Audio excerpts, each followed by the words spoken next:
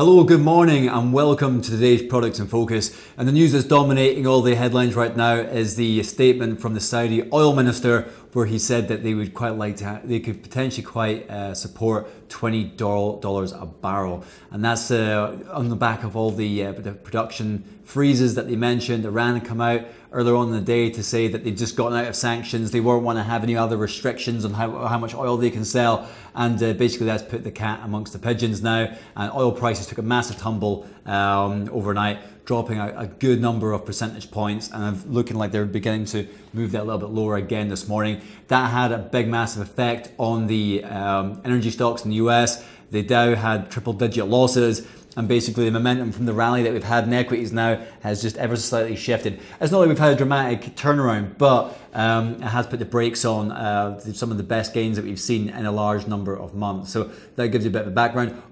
Gold's a lot firmer now uh, on the back of that, but it's still a bit Brexit. People are still talking about uh, cable, euro dollar, everything else. Uh, but now it's oil again that people are looking at. And the pendulum, one minute everything's all looking good, next minute everything's all looking pretty terrible. And um, there's so much politics involved. And right now, literally, one guy speaking um, in, the, in the US can have a big, massive impact. Obviously, when you're the Saudi oil minister, you do have a lot of clout as well. But that's going to put the brakes on the oil uh, jump that we had there. We're going to be looking at things from a technical perspective now, starting off with that double bottom on the US 30 as well. Okay, so what this does is gives you a bit of an idea of where we are. So we still have this double bottom right here. We didn't have the follow through completely yesterday. Now I've slightly redrawn where this uh, potential uh, resistance level is, so it coincides with the 55 period SMA.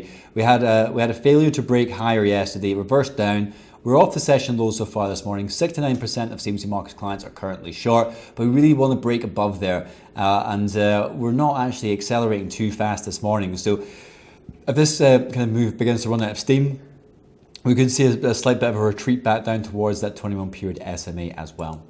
Moving on to the UK 100, you can get an idea of the bearish engulfing pattern. We're below the 55 period SMA. Similar uh, aspect, we might begin to see a little bit of a retreat back down towards the 21 period SMA if the rally begin if the rally doesn't follow through with anything of conviction. 67% of CMC Markets clients are currently short. The technicals are rel relatively neutral, and we'll, we still look like we're in a potential downtrend right now.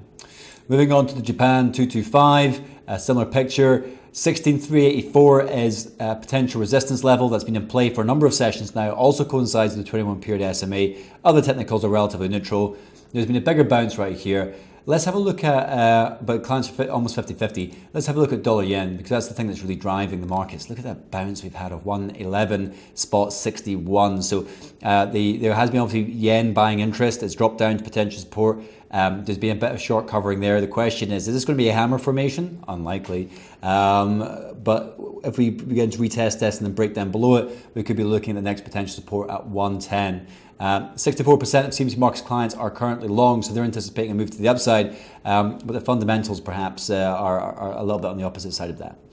Moving on to crude oil West Texas, you'll see that move that we talked about, bearish engulfing pattern uh, following on from Saudi Arabia oil ministers' uh, discussions yesterday, breaking back down below that 21 period SMA. Um, we are pretty much doing nothing this morning. It's just completely flat. The other technical is relatively neutral. MACD histogram slowly moving lower. Uh, we've not got the crossover yet, but uh, we could be looking if we if the pressure ramps up, we could be looking at a move back down towards 26 spot 72. Um, we need a bit of a step change for this to go back back up here. On the back of the oil minister's comments now, uh, it's going to take something kind of significant to get this back up here.